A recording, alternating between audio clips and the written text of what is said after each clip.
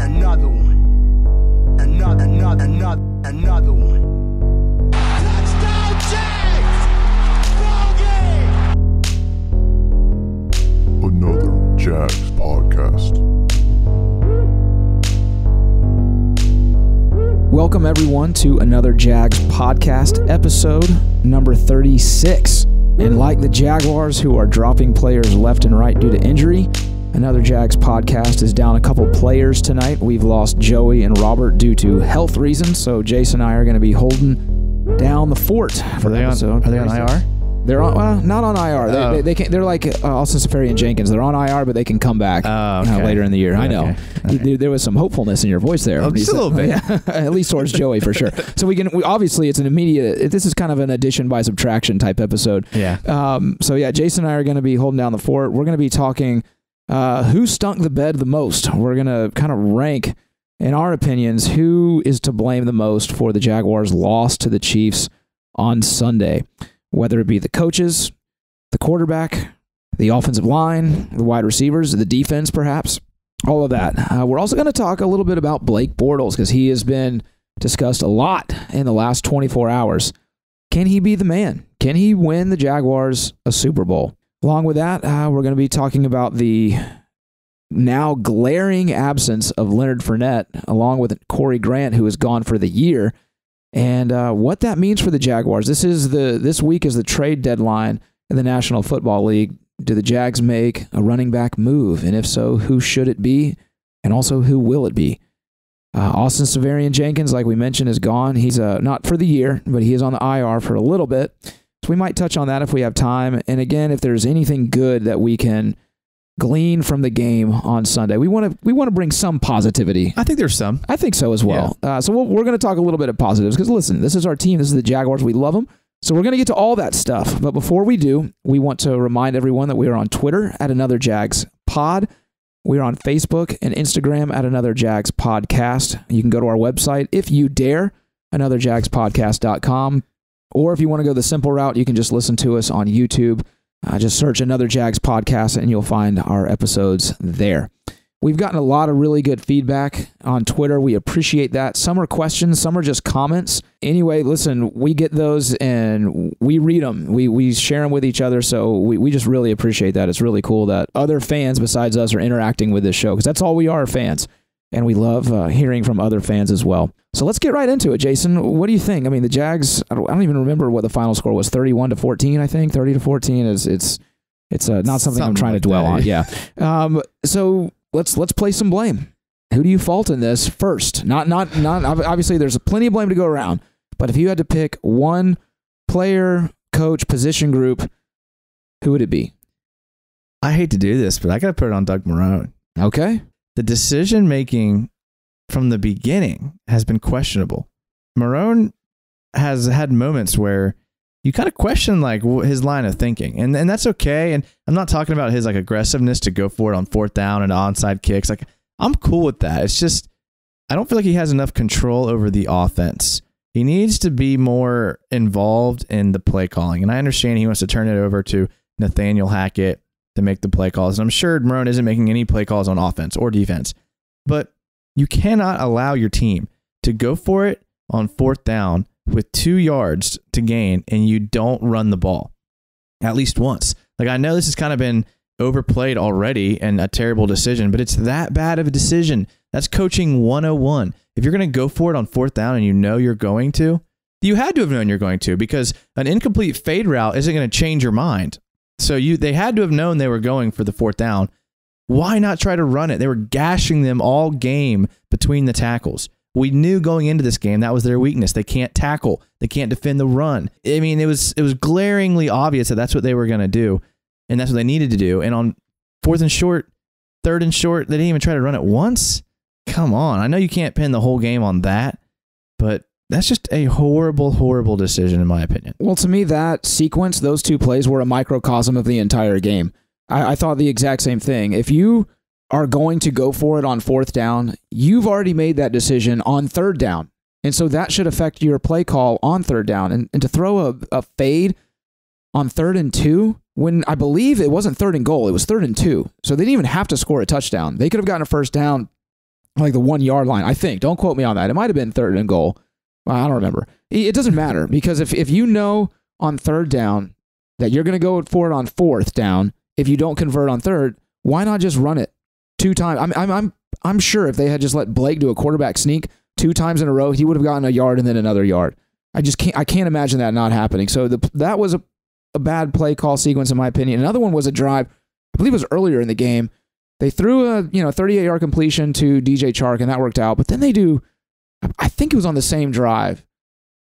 It They was. throw two deep balls back to back to second drive of the game. back to back deep balls to Moncrief over the middle. Both fall incomplete, and they have to punt. To to me, if the best way to stop Kansas City's offense is to keep them on the sideline. The way that you do that is to control the, the ball on offense, convert your third downs, run the ball, run out the clock, control time of possession, and you do that by running. You don't do that by throwing deep balls, which they had never done well all year, and suddenly they're going to decide to do it now. And I understand Corey Grant got hurt early in the game and he was out, so that probably changed some things. He wasn't hurt at that point though. no, That he- was the second drive of the game. yeah, it just I, I was sitting there going, "What are you doing? What are you trying to accomplish? Don't get cute. Why are you trying to get cute now? You know this team cannot stop the run. We've been having success with the run so far in the game, so just pound it. Keep the the Kansas City offense on the sidelines, and let's control the clock and time of possession and all those things and score. It just didn't make any sense to me why all of a sudden they were going to start throwing down the middle in that game of all games. We've been asking them to do that all year, but but then it just it just made no sense to me whatsoever. It looked like they were picking on Nelson, their defensive back for the Chiefs, and they they got him a couple times with Chark. But on that drive you're talking about, was the second drive of the game, first drive of the game that we had with like good weather. So it was like our first chance at really moving the ball. And the Chiefs had already scored a touchdown at that point. We start the drive off with a six yard run by Yeldon. Then we throw it deep to DJ Chark. He gets it the 30 yard reception. Beautiful play sequence.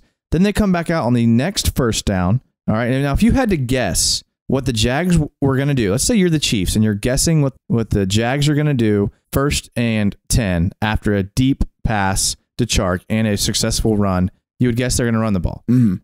Great idea. So the Jags tried to stay ahead of the, the Chiefs and they went for a play action on that play. The problem was all of the routes that the receivers ran were deep routes down the field. They had it drawn up perfectly. A play action would have been perfect. They bite on the run, but you got to have short routes on that play. The receivers weren't even looking at Bortles when Bortles was in that. Then he got sacked on that same drive. And like, what do you expect to happen? The receivers weren't even looking. So you got to be smarter than that as a coaching staff to know the other team's expecting you to ground and pound the ball. If you're going to run a play action, you got to have someone running a short route. The only person they had that was short was the running back, and he should have been blocking on that play. So just just bad play calling. Then they tried to go to Moncrief deep twice. Then they punt. It's like, come on, like that's that's little league coaching right there. Yeah. You have to be. You're a professional team. You have to kind of look ahead in the future. I put a lot of this on the coaching, but that that's where my blame goes. I put it on Marrone because he's the head honcho. He's the head CEO of the coaching staff. He takes all the blame for all the coaching decisions on game day. When Blake said in the post game press conference that they were really unlucky, they really, really were. A lot of things were just bad place at the bad at the bad time, and you com- you combine that with poor coaching, and you got what you got. Give me an example because there may have been some bad luck, but sometimes bad luck can be created by bad execution. I agree. Okay, so the play that Bortles threw the pick six on the the screen route that was an excellent read by that defensive lineman. Okay, now don't get me wrong. I went back and watched that play.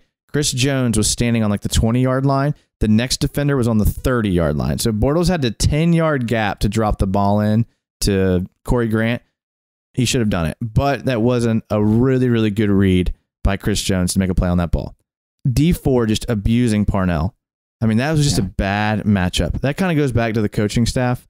We talked about on this last podcast that Dee Ford was their best edge rusher and that he was their best player. He graded out by far better than anybody on that defense. And you're going to leave him one on one with Jermey Parnell when you know Parnell has a history of problems with fast edge rushers? Mm-hmm. Like, come on. After the first, after the second drive of the game, when Dee Ford sacked Bortles on the play action, you should have had a running back on that side of the field every single snap for the rest of the game.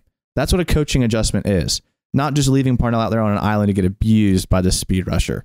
Yeah, I mean, to me, there was no in-game adjustment when it was clear that their defensive line was owning our offensive line, which was a bit surprising going into the game. I didn't think that would be the case. I thought, you know, they would they would make a couple plays, but I mean, man, they destroyed our offensive line for the most part. And Blake, everyone wants to throw Blake under the bus for this game, and, and we'll say it. He had a terrible game. Yeah. I, I thought he I thought he, He played did. awful. He did. But if you're going to say that about him, you have to also say that the offensive line played poorly, which they did. I mean, and you're right. Come on, help help Parnell out a little bit. And in going back to what you were saying earlier about that play where all the receivers went deep, you have to realize quickly we have to start doing what other teams do to us. Three step step drops, get the ball out quickly because our offensive line is not giving our quarterback enough time. And instead, they were running deep routes. I just, for the life of me, I do not understand why they were trying to go deep when it wasn't working. It worked twice, once, and went with DJ Chark is the only time I can really remember. Yeah, twi- he had two deep two catches. two yeah. deep catches. That was it. You know, I just, I don't know. It, it, I, maybe Yeldon is more hurt than than we know, and they're just trying to protect him. But even still, can we get a jet sweep? Maybe something like that. Let's let's get a little creative here. Have a design run for Bortles. He's a great running quarterback. Do something to run the ball. If if Grant goes out, we get it. You have to scramble a little bit, but that's up to the coaches to figure out what you can do to be creative, to get other players involved. And it just didn't seem like they made any adjustments whatsoever. Ah, it was super frustrating. it's almost like I go back to the decision making. That's like what I kept coming back to. It was just bad decision making everywhere, from Blake to the to the coach, coaches to the play calling to the front office. If Yeldon is that hurt, why wouldn't you bring in a running back this week?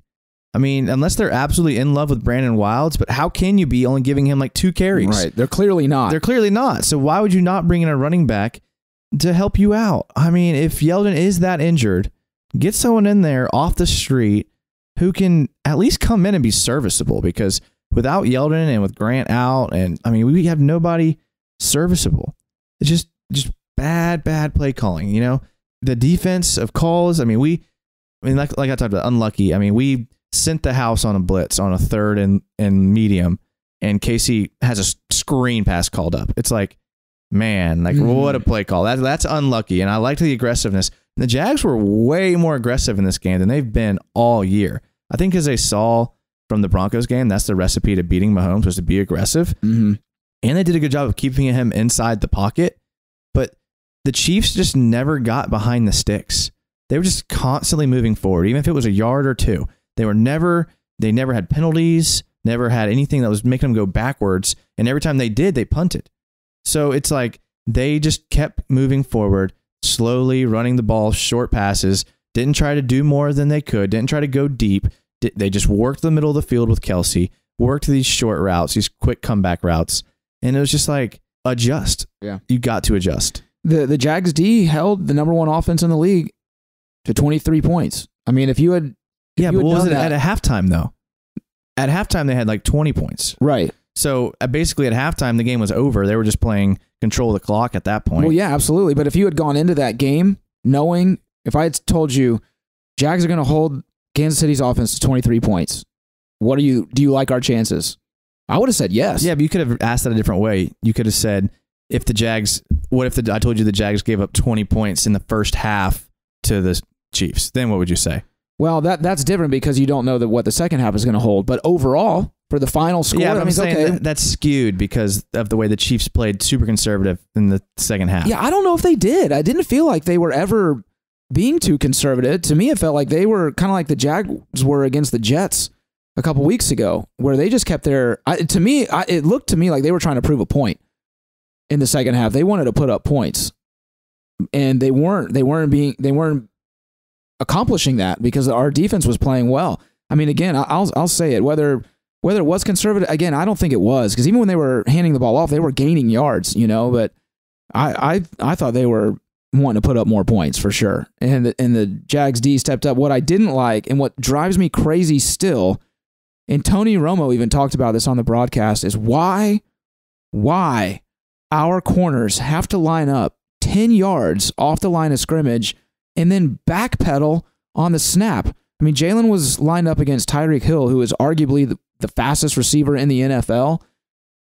And he's 10 yards off of him, and they snap the ball, and he backpedals on a, on a second and 10 or a third and 10. And sure enough, they get a first down because he's giving him so much of a cushion. But when he jammed him, I think Hill caught one pass off of Ramsey. I, I just don't understand that. I don't understand why our corners have to play so far off of these guys and give them so much of a cushion. Be physical. Ramsey is one of the strongest corners in the league. I don't understand why, why they're not using that more. It just it it it boggles my mind. It seems like every time Bouye gives up a completion when if it's third and seven, he's ten yards off the guy, and he might only get give the guy eight yards, but that's still a first down. I don't know. I think Drives me crazy. I think what they're trying to do is just like keep everything in front of you until the red zone and stiffen up in the red zone because our red zone defense is really good. We even saw it against the Chiefs.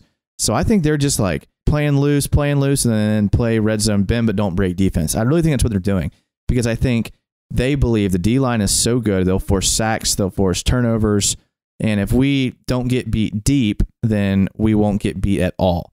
So they're playing super conservative, and it's frustrating to watch. But if the offense is just competent halfway, the, the defense doesn't look as bad because we gave up a lot of field goals. We held them out of the end zone a bunch of times. It just, you know, it the offense just did nothing to help. Defense comes up with a big interception, Tashaun Gipson. The next play, Bortles gets strip sacked. And it's like, come on, man, you gotta you gotta help these guys out. I mean, there was one, I mean, Kelce destroyed us. Telvin Smith had one of his worst games as a Jaguar.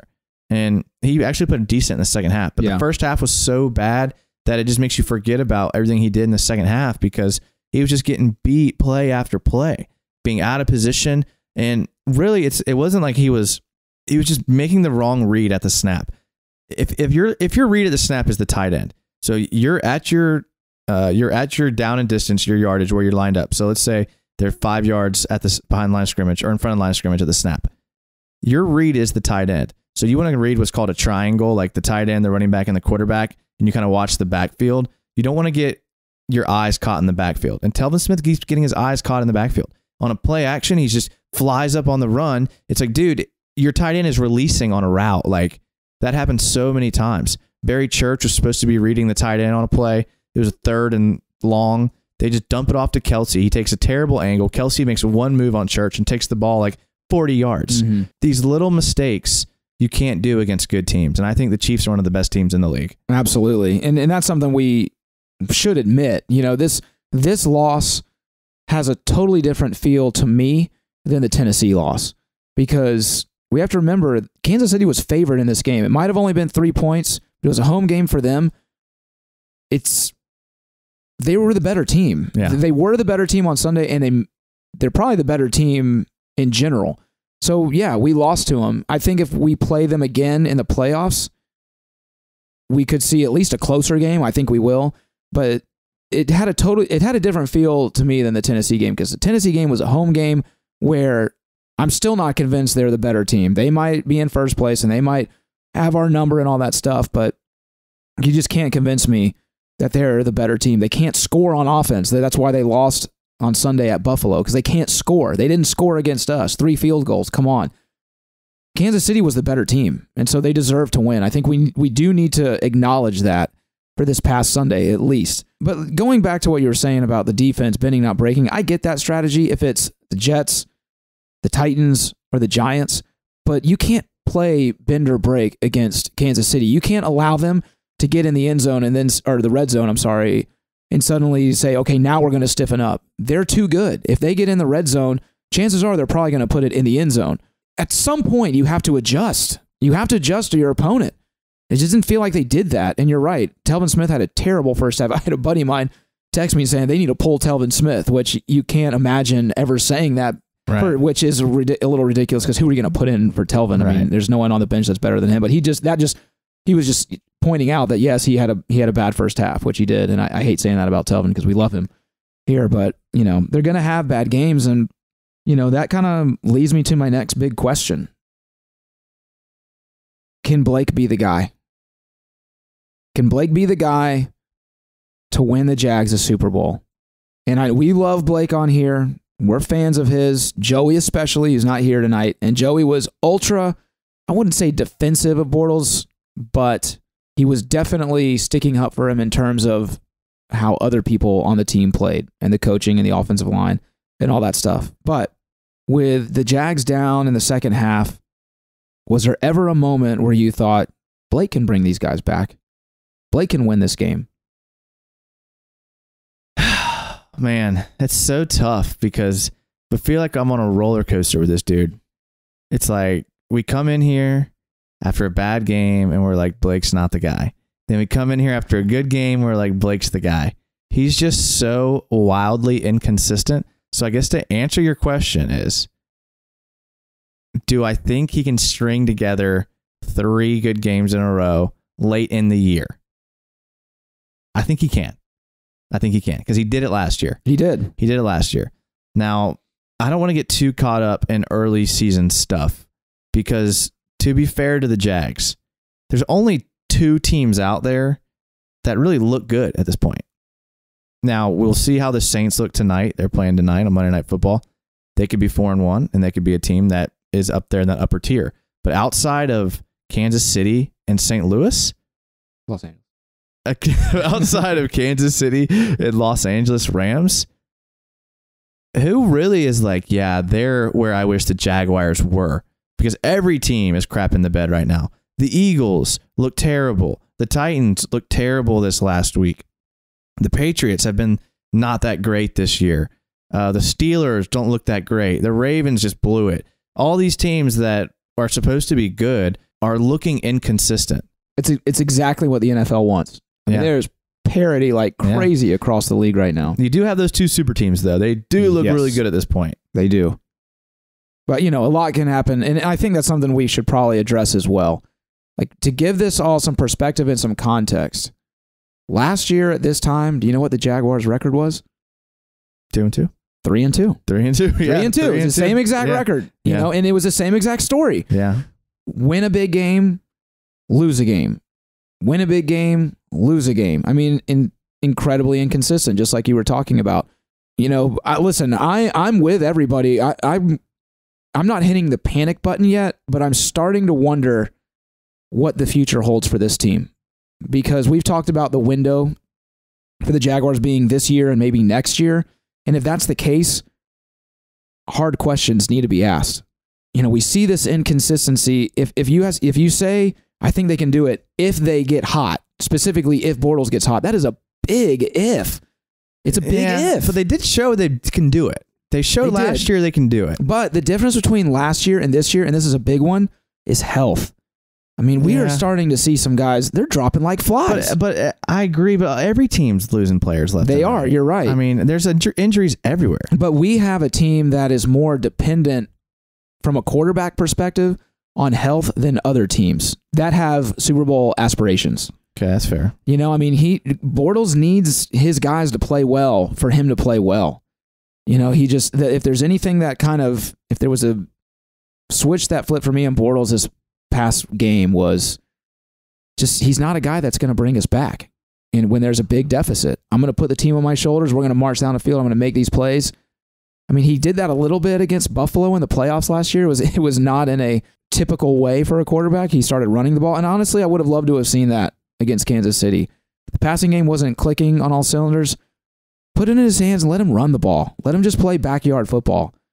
But yeah, and there was never a point in the second half where I'm thinking, that's all right, we're in this. Blake's going to bring us back. And that worries me. That, that worries me big time. What worries me more is kind of the same thing, but a little different, I guess. It's the fact that we couldn't score any points until there was three minutes left in the third quarter. You've got to put points on the board. And again, I'm taking that fourth down out of it. Like I'm cool with going for it on fourth down. I like that actually. I like aggressiveness. Sure. I would like to see a better sequence of play calls there, but I like the fact that we went for it. Outside of that, you cannot have eight offensive drives before you score a touchdown.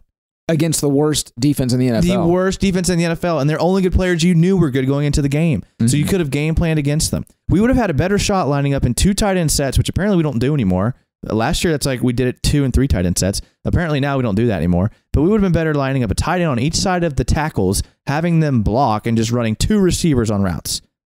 We'd have been better off because at Right. least Blake would have had a chance to to throw the ball, and he wouldn't be getting tackled. He wouldn't be getting scared and skittish and deer in the headlights type Gabbert looking play where he's scared he's going to get hit. He doesn't step into the pocket. He had all kind of throws where he just does these little like weird like crow hop steps into the pocket where he doesn't really step into it because he's scared he's going to get hit. Yep. And it's like, dude, you have got to get this guy settled and give him time to throw. Line up two tight ends or line up two running backs, and their only job on those plays is to block the edge rushers. The times they did that, he gave him so much time in the pocket. So have Moncrief run a curl route instead of a vertical. Like do what he does best. And I don't know. I, I really blame the coaches on this because I know the personnel the Jags have, and the personnel is good. Mhm. I can evaluate them to other teams, and I know we do not have a worse team than how as bad as we're playing sure. at the against the Titans and against the Chiefs. We have talent on both sides of the ball. So eventually it comes down to the coaching. And I think we just got out coached by Andy Reid, which in the regular season doesn't surprise me. Right. It really doesn't. I don't know. I hope I hope to see the coaching turn around. I love Marrone. I love his aggressiveness, but he's yet to show that he can make in-game adjustments the way these elite coaches do. Is that okay? And just to be fair, is that because of their lack of ability to do so, or because they feel handcuffed having Bortles as a quarterback? You can't feel handcuffed and then say that's your guy.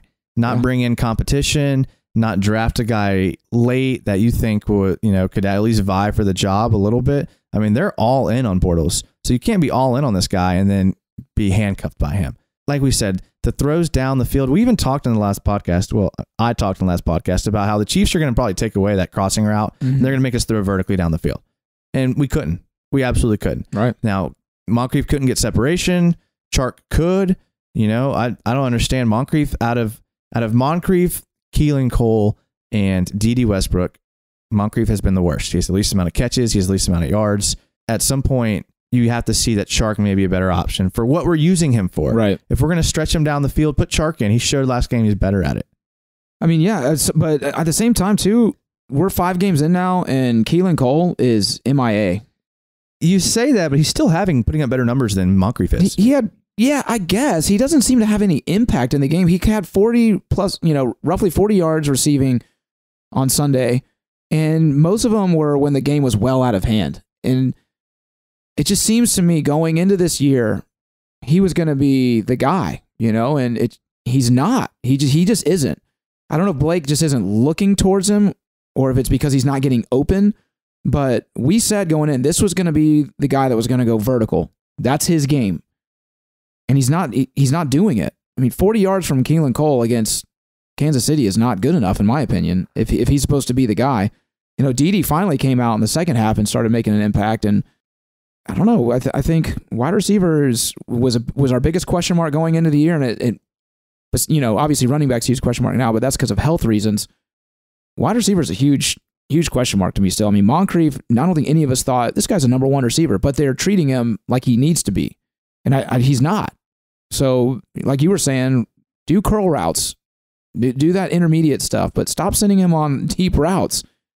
You know, Chark finally came, came alive a little bit. I, I do, like you were saying, I hope to see him more in that role. I mean, why not at this point? No one else is doing it. Keelan Cole, 295 yards. Moncrief, 249 yards. TJ Yeldon, for reference, 194. Not that far behind them. Right. And if you take out the Patriots game for Cole, I wonder what that, that number is. We had we had concerns about Donte Moncrief coming into the year. So this is not surprising to me that this is happening. I kind of knew this was going to happen. Mm-hmm. like we had so many. I mean, I'm glad we got Chark. Maybe they knew this was going to happen because they were going to get Chark. But you should have addressed that maybe more so than Donte Moncrief. We knew tight end was going to be an issue, especially blocking tight end. And we can see it still is an issue. And now we don't have a tight end for the foreseeable future. We knew offensive line was a concern. Everyone wanted to draft a lineman with our first pick this year. If all the fans know this stuff and now it's coming to fruition, how are the coaches not seeing this stuff? How are, are the coaches not seeing the fact that depth could be a concern along the offensive line? and you don't address an offensive lineman until the fourth round and he's not even that good. Like that we we saw this coming. We have to be better at making decisions. We have to be better at seeing where we're weak in depth and making the right calls with these guys. I get people or whatever about Dez Bryant, but bring somebody in. I don't care who Are you is. opposed to Dez Bryant? No, not at all. I mean, at this point, what do we have to lose to that receiver position with Lee out and with Corey Grant, who was one of our best receivers? People are not really thinking about that, but he's one of our best receivers because that's where he played his game was the receiving running back role. Like, wh- wh- who are we going to throw to? We our receivers have shown they're inconsistent. Blake's inconsistent. At least I know for a fact on a day in and day out basis that Dez Bryant will run a vertical and you can throw him a jump ball and it's 50-50 hook him down with it. Right. At least that's consistent. Yeah, and I mean, people are. I think people's main concern with him is him bringing attitude into the locker room. But man, maybe that's what the offense needs right now. Is Yeah. is, is is what the defense has that swagger on that side of the ball because they're sure not playing with it. At this point, I, I was I wasn't opposed to death. I was kind of on you know either way, whatever. At this point, is there really any excuse at all to not give him a call? There's I don't understand just principle. These coaches are pretty, you know. Here's my thing for this year this division is winnable, but that's not always going to be the case. You know, the Colts could turn things around real quick from this year to next year. Actually, I know they're only one in four, but I like the direction the Colts are going in. I think they could they could flip the script really quick. The Texans had a big win at home against Dallas. You know, it wasn't the prettiest game, but a win is a win. JJ Watt is leading the league in sacks, by the way. For those that aren't paying attention, hey, six sacks is six sacks. I mean, that's Yeah. that's that's legit. If if that was uh, Ngakoue right now, we'd be freaking out. Yeah. You know, so you have to. I'm just saying, like, I, I still think the Jags are going to win the division this year, but at the same time, is that your only goal? Because I think they need to add a couple weapons, and, and you know, the trade deadline's out. Let me, let me just say this: Tony Boselli came out on 1010 XL this morning and said that the Jags need to go after Le'Veon Bell. They need, they need to trade for him, and they need to sign him to a long term contract, which would, in essence, mean that they would be getting rid of Fournette, right, or in some capacity. It's one of the dumbest things I've ever heard in my entire life. it's crazy, but is it that crazy? yeah, it is. If there's one thing we've learned from this whole Fournette situation, it's that you don't invest a lot into a running back. And signing Le'Veon Bell, in order to even get Le'Veon Bell to come to Jacksonville, he'd have to sign a mega contract for more per year guaranteed than the franchise tag. So that's over 15 million a year guaranteed to a position where week to week they could be injured every single week. I mean, we have as much invested in Fournette, like as far as we drafted him really, really high. And look where that's gotten us. You, if there's one thing we know is that you can get running backs anywhere. Alvin Kamara, the running back we just played, I can never remember that guy's name for the Chiefs. Kareem Hunt. These guys are like late round undrafted people. But Like- do we have the? Can we? Uh, do we have the time to wait until next year's draft to try and get a guy in the second or third round? I mean, Boselli's point was, this is if you want to win the Super Bowl, you had better get a running back, and Le'Veon Bell will put you over the top. I think I'm- that I'm ship kinda playing- sailed. I'm I'm playing devil's advocate here, but I, it is interesting. I will say from last week to this week now that Fournette has already been ruled out for the Cowboys game. He's not playing. Now Grant is gone. We have gone from three running backs that we were really high on to only Yeldon who is hurt. If you had Le'Veon Bell, I mean that that adds a huge huge wrinkle to the offense. I mean he'd be it would be unlike anything else. And the thing about Bell that's different than Fournette is he doesn't have a history of injury like Fournette does. I mean, for all we know, Fournette could come back in two weeks and re-aggravate his hamstring, and he's and he's done for the year, or at least the regular season. We don't know when he's coming back, so it's a huge question mark going forward. And with every week, we're asking now Blake to put the offense on his shoulders and win games for us. Which going into the season, that was the opposite of what the narrative was. It was run the ball and let Blake manage the games. Well, that's not the case anymore But why isn't that the case anymore? because we don't have a running back. But that's I that's not a good reason because Yeldon is doing a great job. He's averaging over five yards a carry last week. It wasn't the fact that we couldn't run; it was the fact that we didn't run. The fact that it's on Blake's shoulders is not because we can't run the ball. It's because we're throwing deep routes three times on a, on a drive. Yeah. And if why are, are we getting away from the running game? We talked about last podcast. They brought in Orleans Darkwa to to just kind of you know try him out and physical whatever else they do. Unless he failed his physical, why isn't he signed already? Like, what's their plan to to roll in there with Brandon Wilds and Tommy Bohanon? What happens if Yeldon gets hurt? I was thinking that last game. Like, what happens if Yeldon gets hurt? Like, Yeah. Wilds, uh, uh what, uh, what are they going to do? Like, are they going to Tommy Bohanon? Like, wh- uh, who's the emergency running back? At that point, you're thinking things like that. We need to be prepared for this type of stuff. And if the coaches aren't at this point, like, what are they doing? And it's not it- what if Yeldon gets hurt. It's what if he gets hurt more Right. than he's already been hurt. I mean that that guy deserves a game ball every single week. He's playing opinion. his out of his mind right he, now. he really is. I mean, and why they didn't go to him more? We're beating a dead horse here, but you're right. I mean, I guess the upper management just feels like this team is is enough, and that's why they drafted Taven Bryan. That was a, that was a thinking ahead pick. Right. That wasn't a for this year pick, and and he's he's been good. I actually he pla I thought he played really well the snaps Yeah. that he had in the game on Sunday, but that is not a pick that's going to help win the Super Bowl this year. That is a thinking about who's going to replace Calais Campbell when his contract is up or when they don't resign him or whatever. But again, if you believe your window to win the Super Bowl is this year, then they had better do something on offense. Whether it's Dez Bryant or Le'Veon Bell, I, I mean I, that's pie in the sky. I agree, but it's it is an interesting you know topic or conversation to have. I don't know. They just seem to be standing pat, and I just don't know if that's enough. I mean, Kansas City looked really good. Andy Reid in the playoffs is notoriously just a choke artist when it comes to coaching. So we'll see if that changes this year with Mahomes as the quarterback. And again, five games in is way too early to be to be hitting the panic button. But I will. I have to admit, I feel a lot more concerned this week than I did the week before. I try not to get too emotional about it. It is very concerning, but like I said, there's problems all over the league. I mean, Mhm. Bill O'Brien is getting the same grief from his fans about his red zone his red zone play calls. Jason Garrett punting on fourth and one and the overtime. That one might be warranted. yeah, but you know what I'm saying? Like these Yeah, guys, sure. it's happening all over the league, and we can't get caught up week to week. I think by the end of the year, all this stuff will kind of shake out, similar to how it did last year. But the injuries are concerning me, and we're gonna have to make some moves at depth, or we're gonna roll out there with, you know, a third string left tackle and a third string running back with our offense. And I don't care how good your defense is, if you don't score until the fourth quarter, you're not going to win any games in the NFL. That's just the bottom line. Right. It'll be interesting if they make any moves this week as the trade deadline approaches. I don't know. I- I'm I'm glad for the, those that want to know. We actually thought about recording this episode the night of the Jags Kansas City game, and I'm so glad we didn't because I would have been just saying a bunch of stupid nonsense Yeah. because of Sometimes emotions were so high. time. Yeah. You, you need to sleep on it a little bit Mhm. uh, for sure.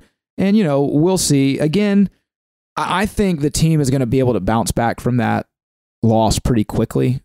I think they're a pretty resilient group, but this game, and we'll get into it more in the next episode. But this game coming up against Dallas is a is a big one in terms of setting the stage for the rest of the season.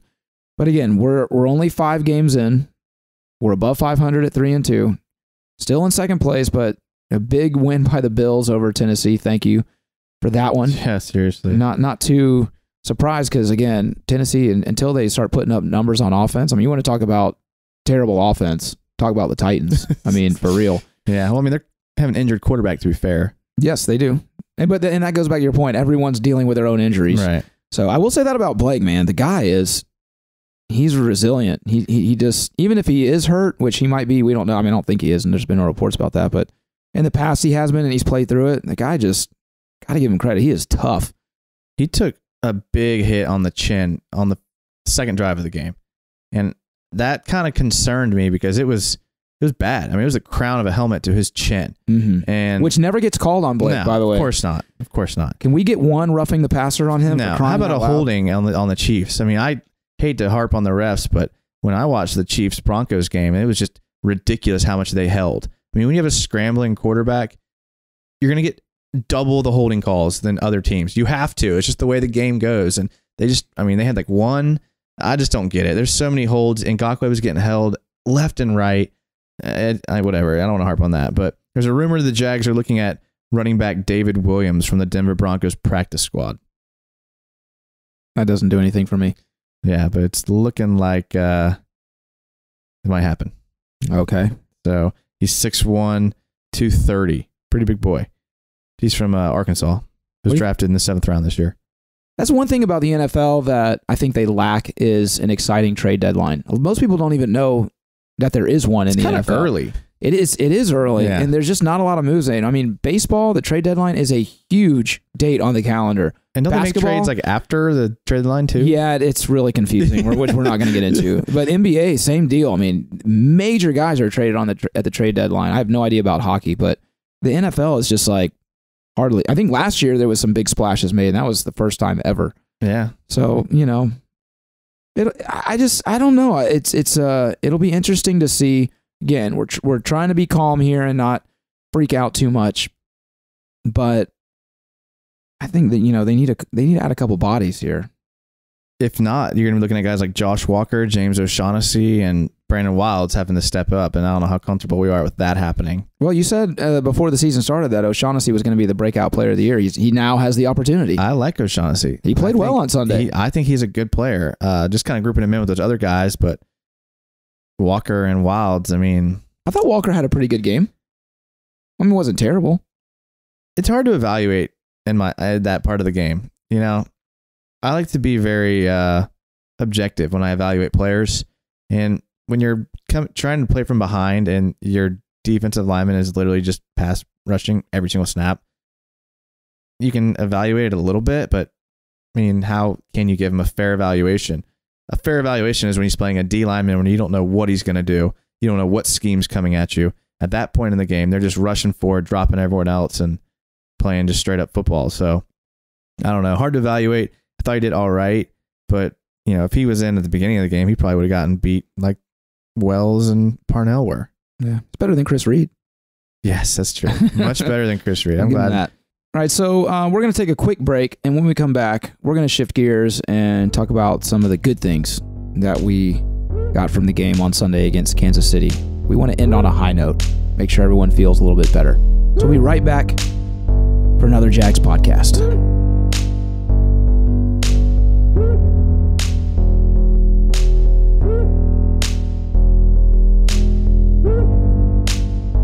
Welcome back to another Jags podcast, episode 36. We are looking back on the game that was in Kansas City, and uh, we want to end this recap on a high note and talk about some good things. Uh, but we also want to be fair, and we understand that the Jags weren't the only ones that got things wrong on Sunday. Another Jags podcast got some things wrong uh, as well. On our Chiefs preview, That's right. On Yeah. our Chiefs preview, which was episode 35. So, uh, Jason, why don't you uh, read what was, I think, believe it was tweeted to yeah, us? Yeah, it go was ahead. pretty good. I just people try to like people try to like call us out on Twitter. And I'm like, you realize that we have a section called "Why I'm an Idiot," Yeah. right? Like, you, you- we, it's you know, we don't take ourselves that seriously. We we do not work for the Jaguars, but this tweet was awesome, and I want to read it. This is from Jason, and he's at J Hardy 37, and he says, in the first 12 minutes of the Chiefs preview episode, only one out of the four seemed to even respect Kansas City. One person called our quarterback Pat Mahone. We're not going to say who it was, but it, we laughed at that too. Right, okay. and and it it I'll give you a hint. It was it's someone that's not here tonight, and it wasn't Joey. that's all we're gonna Yeah, say. that's though. all we're gonna say. That's all we're gonna say. But we did laugh when that happened too. All right, and he goes on to say, two people said Kansas City doesn't stand a chance. Shaking my head. The flame was impressive. Another Jags pod. Then he goes on to say, your your linebacker Jack Myles Jack is a beast though.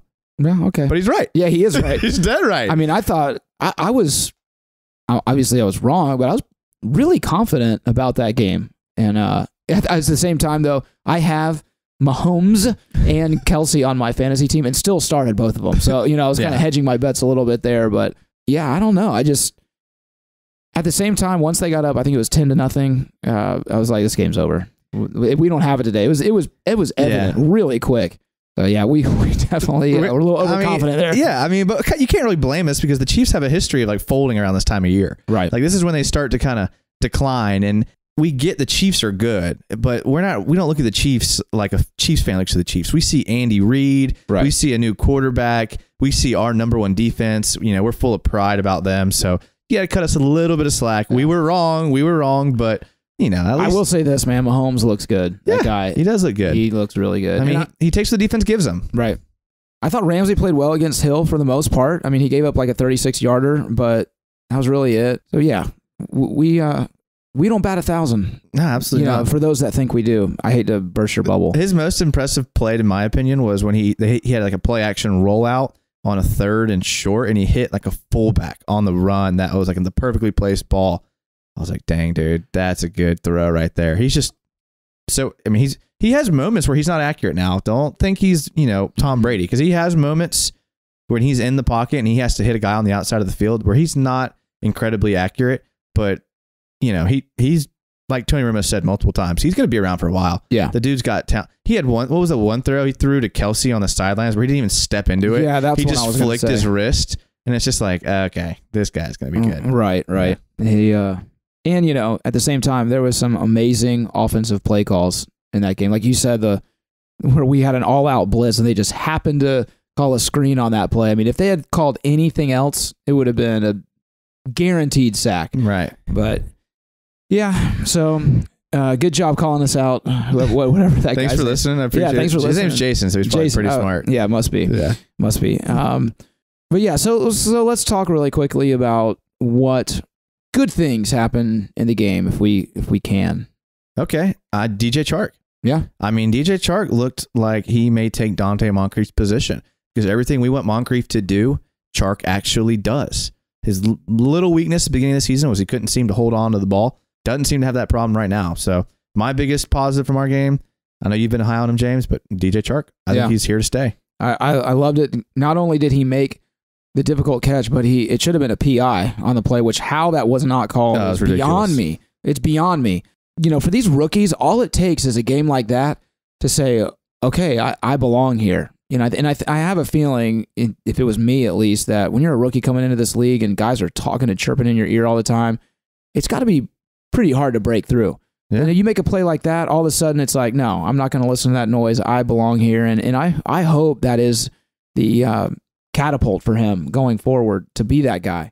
And I, I have been singing his praises for a while, but he hasn't really done anything. If anything, he's kind of underperformed. But against Kansas City, absolutely, without a doubt, he had a uh, he had a nice game. Myles Jack, going back to the tweet from the guy Jason, he did he had a he had a play where I don't know if it was an in around or a throw out to the flat, but they had a guy trying around the corner and Jack ran him down. Well, I don't know. I don't remember who it was. If it was Hill or a running back, I wish I'd studied the play more. But I was watching that going, Myles Jack's going to chase that dude down. It ended up being a three yard gain, maybe four at the most. Which any other linebacker, it would have been a first down and more. But he, how he was able to get to the sideline so quick was incredible. Our defensive line played pretty well. I like the aggressiveness. I, I wish we would blitz a little bit more. We're, we seem set on just rushing four all the time, and and I get that because it works. But it was kind of fun to see more blitzes um, in the defensive scheme. You know, Gipson had a pick. That was good. Uh, Bouye had a pick. So we, we got on the board with the secondary getting some interceptions. Again, I, I've already mentioned it, but I thought Ramsey played well. Wasn't his best game, but I thought he played well for sure.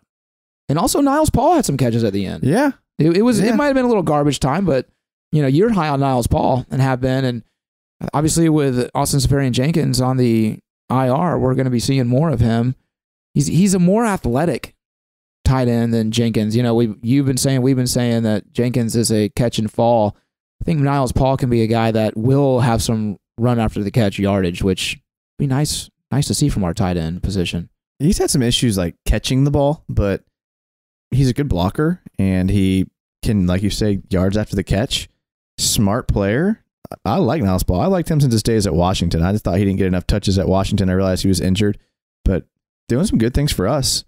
I don't think we're going to have an issue at tight end because I think we're we're okay there. Good to see uh, Josh Walker play serviceable Mhm. because if we're down to our third left tackle, I mean that's that's worst case scenario to have your third left tackle in there. So if he can handle Justin Houston for a half, you know, I think we're okay there. But that's you know, the how about Logan Cooke? He he punted well. Yeah. you know, I guess He did. Sure. I think didn't they work out another punter or something like that? I don't know. I think I saw that they worked out another punter this last week. oh So, my gosh. Really? That's who you're going to bring in to work out as a punter? but hey, if Logan Cooke can't punt the ball, I mean, he's great at directional punting, but his distance is some left to be desired. So, Yeah. But you know, he he played well. So those are the positives, I think. And, and and obviously we've mentioned him already, but game ball, TJ Yeldon. oh yeah, And he had a I thought he had a really, really good game. Would like to have seen him more involved in the offense in the first half. You know, he was the first play of the game on offense, six or was it six yard run or eight yard run? yeah, Something like six or seven six yards. or seven yards, and then the next drive, after they punted on the first drive, same exact thing, and they just kept going away from it. So I like what Yeldon's done this year. He's certainly impressed me, and I think he's shut a lot of Jags fans' mouths by what he's done on the field, and hopefully he can be that guy going forward. But you know, there were there were a couple highlights. It wasn't like the Tennessee game where there was literally nothing on offense you could say that was positive. That's not the case in this game. We got outcoached, we got outplayed. I think if we played again, or if we do get a chance to play them again, it'll be a different story. I'm not saying we win, but I'm saying that it'll be a lot closer than this past week. I hope so. Yeah. it has to be. Yeah, I mean, it, better be. yeah. Or we have Yeah. some serious questions to answer then as well. But you know, we'll, time will tell. Anything else you want to add about this game? Do you feel worse about this game or the Titans game after? Oh, Titans game, Okay. 110 percent, Yeah, I agree. 110 percent. Yeah, I Because mean, we should have beaten the Titans. In my, I mean, again, uh, I don't want to go back to this, revisit it, but you give up nine points in a game, you should win that game, especially Yeah. at home, and it's a divisional rival. yeah, You know that that that hurt us more. If we win that game, we're four and one, and we're sitting pretty. yeah. You know, but we didn't, and so it's tough. I would just say, don't freak out. We'll be all right. We've been here before. We've seen this song before. Just let it play out. These guys are professionals. It's the NFL from week to week. Teams are up and down. We see it all over the league. There's, like we said, two teams that are constantly good right now. We'll see what happens. All it takes is one fluke play and your quarterback get injured, and all of a sudden your whole season's changed. So, Yeah, and and look, the Rams almost lost to Seattle. So yeah. I mean, it wasn't like they're they're steamrolling everybody. So, yeah, it's five games in. We have eleven more games. Eleven. That's a lot of football to be Mhm. played. A lot of football to be played. So we'll see what happens. Hopefully, they can rebound this week as they go to Dallas, and uh, we'll see. But it's a big game, and we're gonna we're gonna be previewing that in episode thirty-seven.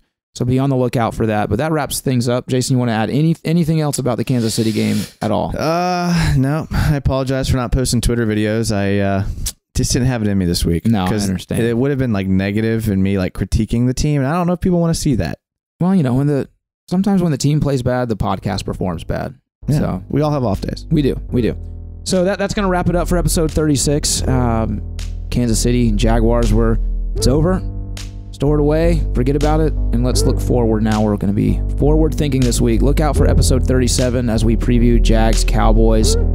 We want to remind everyone to tweet us, call us out, like our friend Jason did on Twitter. We don't mind. No, we don't mind at all. We, we'll probably read it. We don't take ourselves too seriously here.